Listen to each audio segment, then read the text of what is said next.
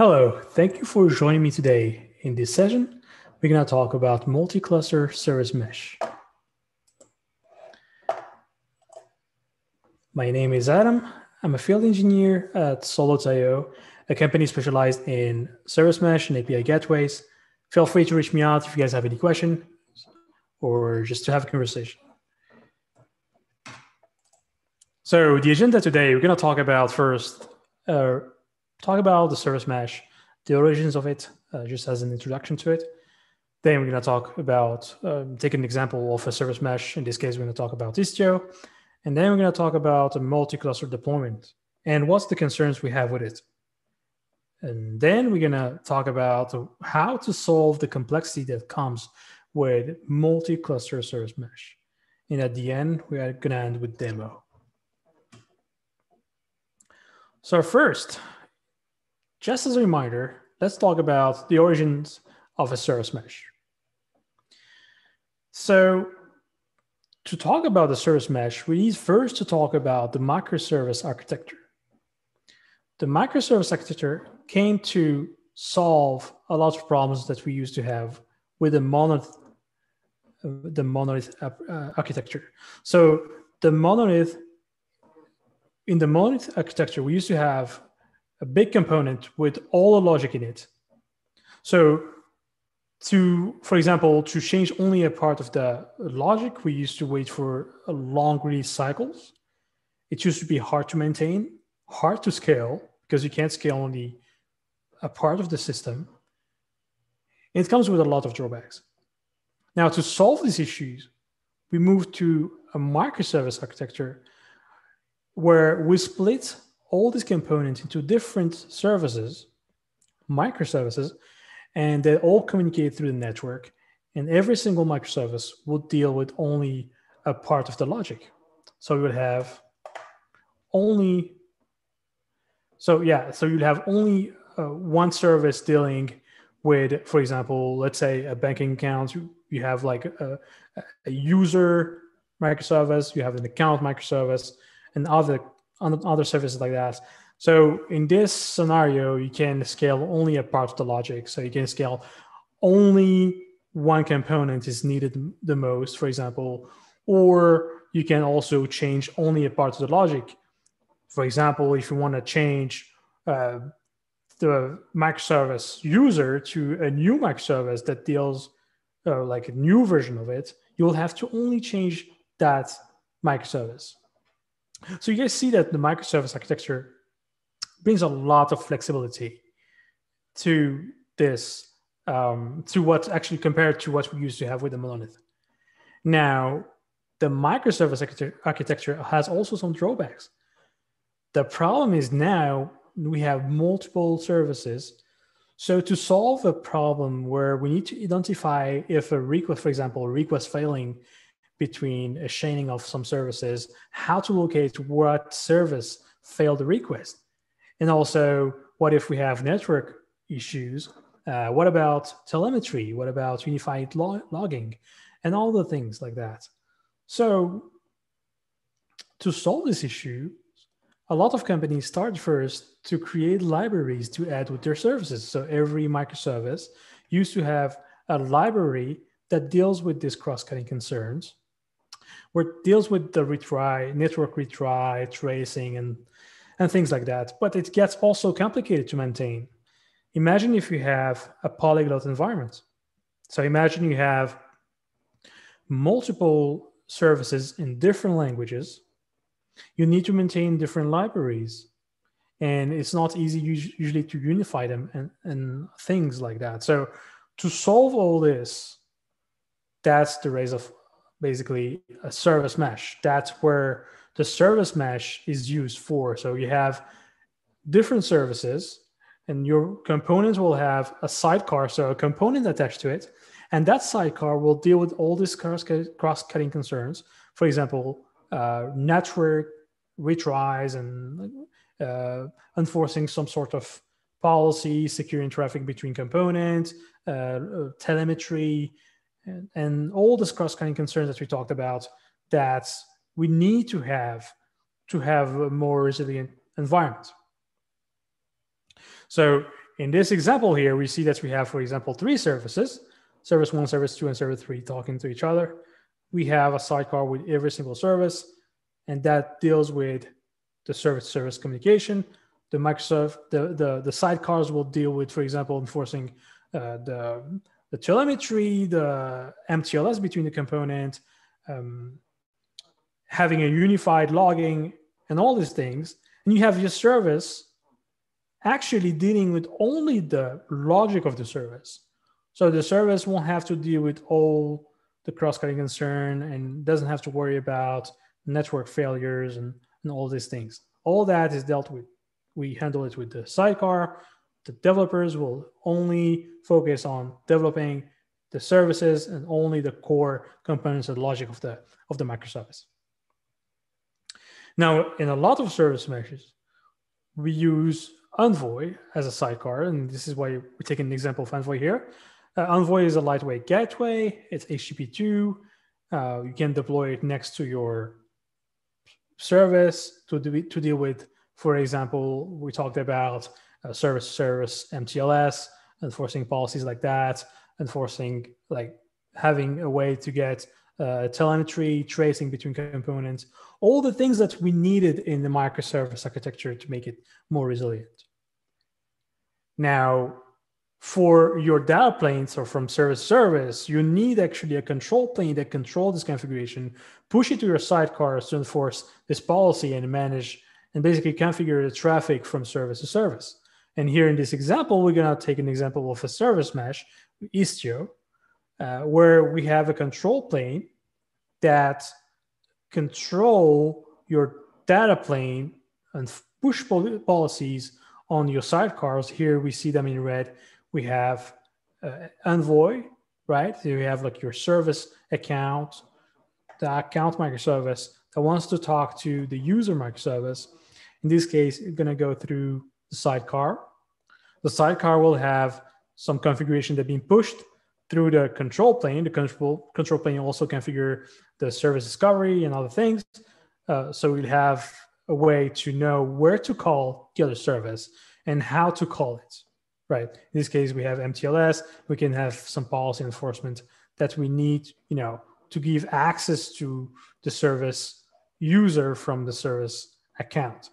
So that's the role of a control plane. And this is an example of like how Istio deals is actually implementing the basically the service mesh, right? Now, to configure your control plane, to, to configure Istio in this example, you'll need multiple configuration. You'll need multiple components, uh, multiple configuration here. We have a virtual service, for example, that is used for routing traffic. You'll have this destination rules. You can have a service entry. Every that's an example for Istio, but every single service mesh will need some sort of configuration for routing between components.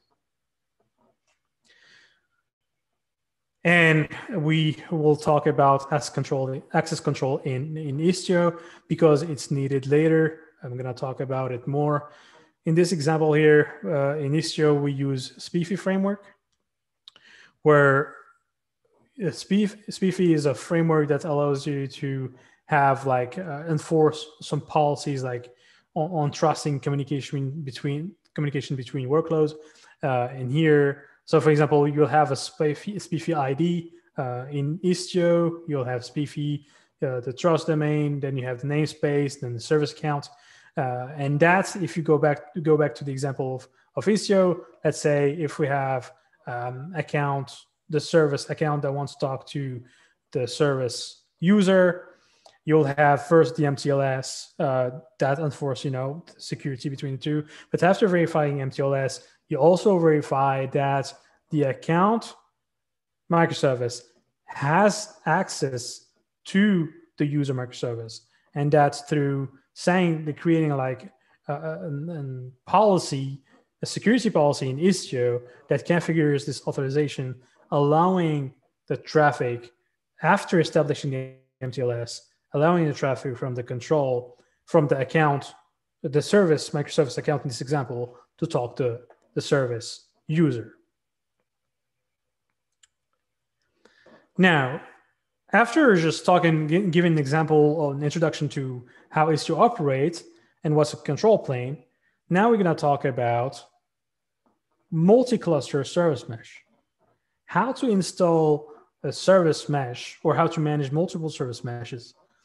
Um, you know, we talk, we give an example of a service mesh on only one cluster where you have like your control plane, Istio, configuring the data plane and sidecars between the components. It's pretty simple to, to look at it into only one, for example, one cluster. When, when we talk about a multi-cluster installation, that comes with a bigger difficulty here to allow traffic between uh, services and service meshes. Uh, you'll need more configuration and it comes like to another level of complexity.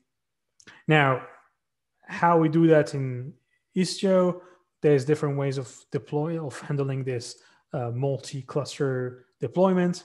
In this case here, we have a way where we can have a control plane in only one cluster, but we need to give access to the API server. So the control plane needs to know, need to have access to the API server on different cluster to get the data about the services running within the cluster and other things. So imagine also, we have also a mode where you have the multiple control planes. Every single cluster has its own control plane, but also we always need to have access to the API server on different clusters.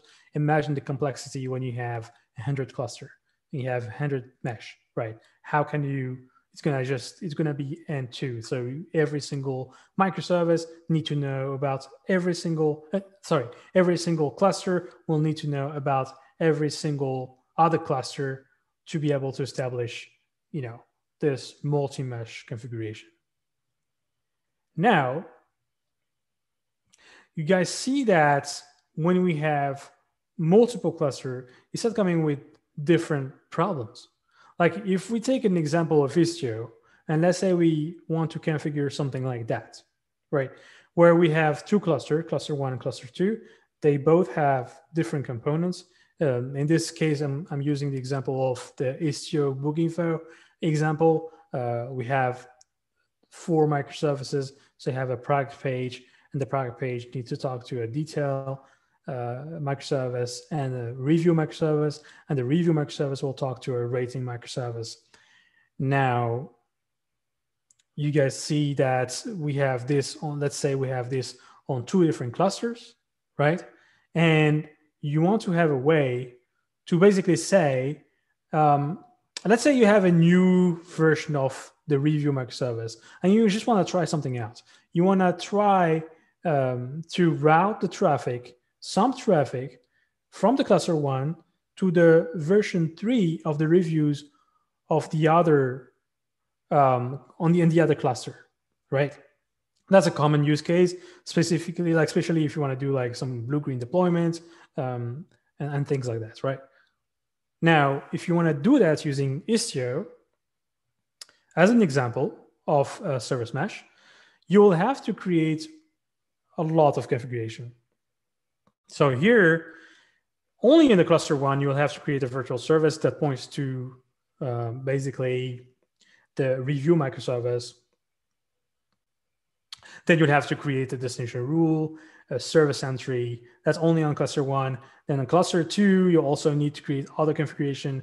Like when the traffic is routed to cluster two, you need to transform it to a local um, local call to your uh, review microservice. You also need to define your destination rule, and that's basically going to call the pod version three. Uh, you know, you're going to call to your uh, review v3 on the cluster two.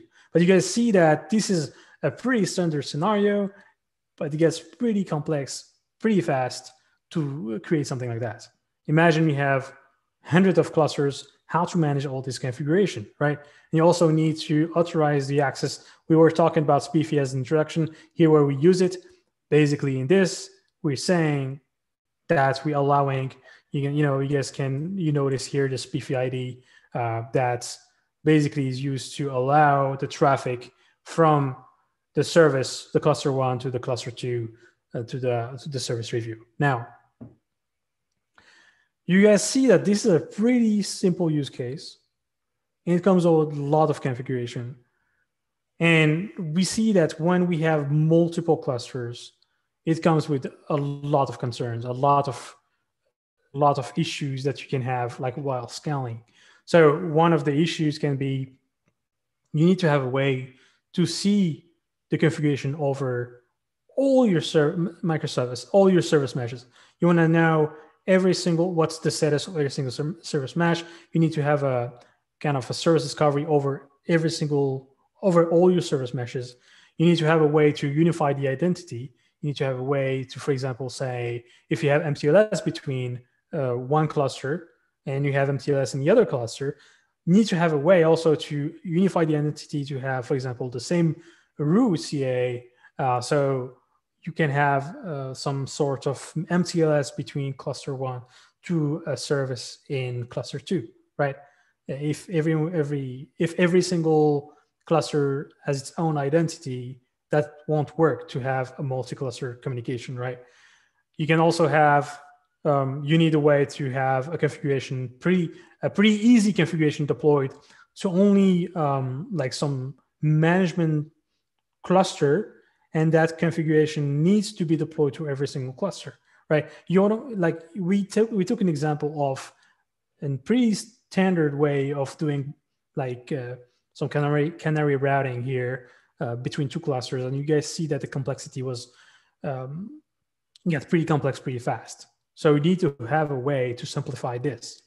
You also need another way of enforcing high level policies like if you have different personas operating your service meshes, you want to just have a way to create a policy that says, hey, this team or this user is allowed basically to route traffic from his service mesh to only this service mesh or only these services, regardless of the implementation of how we do it behind the scene. For example, in the control, like in Istio, the APIs are pretty low level. So, you know, for doing the routing, you need all virtual services and you need uh, service entries and destination rules. So, regardless of all this, what is more important just saying that this persona can do like routing or can enforce this policy or they can change these settings. You don't want to have to go to a lower level configuration. And also you need to have a way to like, uh, you know, isolating a fault. So for solving these issues, you need a management plane. You need something like a component that knows about all the service meshes, knows about all the clusters, knows about all the control planes, and be able to manage them all, right? So in this use case, um, I'm taking as an example Gloo Mesh, which is uh, I'm more familiar with, which is a management plane that operates on multiple clusters. For example, here in this use case, you'll have your management plane uh, where you register different clusters. Uh, all these clusters, you, you're going to have like a global view of all, over all the services you have, and you can uh, define a policy like a, uh, an easy way to route traffic between services. And that's what I'm going to show you now in this example. So let's say I have, um, so I have my management plane where I have two clusters registered. So I have two control planes, right? In this case, cluster, cluster one and cluster two, they both have Istio installed. And if I can look at the cluster one, I can see that the workloads here we have review version one and review version two, right? Now, if I go back to the other cluster, we can see that in this cluster, we have version one, version two, and version three. So if want to go back to the architecture I was going to show you, so this one, you see that the other cluster has only so has the three versions, and the first cluster has only two versions and we want to do some sort of canary deployment to basically route only part of the traffic to this cluster, right? Now, the only difference between all these services uh, in, in the review, the, the different versions, is that the version one has no, like when we look at this UI here, Um, so version one has no color, version two has like a black stars, and version three has red stars. So if you see here, if we the first configuration we have, obviously we're talking only to the cluster one that has version one and version two. Uh, you guys see that we can't uh, basically, we are just showing the two colors, which is no colors and the black color. Now, meaning that we are routing only to version one and version two. Now, let's create an easy configuration to route to the service um, to the version three of the service review in the cluster two. For that, I just need to create one configuration on my management plane saying that what I need is like when I try to call the review service in my cluster one, behind, like when calling this service, the routing they need to operate is that I'm gonna route 75% of the traffic to the version three in the cluster two. And I wanna route 15% uh, to the version one same cluster and 10% of the to the version two on the same cluster. You guys see that only one policy here to manage routing over like to multiple clusters because we have a management plane, right? Now I go back to like my terminal, right? Then let's say I apply this, apply the configuration, create it, go back to my service that was routing only to basically the, the two versions on the same clusters. If I refresh a couple times, you guys see that now we have the red stars and these red stars are coming from a different clusters. So the traffic is going to cluster one and then routed to the cluster two to version three of the review service, which is the red stars. And you guys see that in comparison with what we needed to create to operate this without without a management plane, we if we had to do that directly using Istio service mesh as an example, you will have to create all this configuration on the cluster one and all this configuration on cluster two just to do something simple as one routing from one cluster to another that we operated we did that only with one configuration in our management plane. So you see that a management plane solves a lot of issues that comes with the complexity of a multi-cluster service mesh right?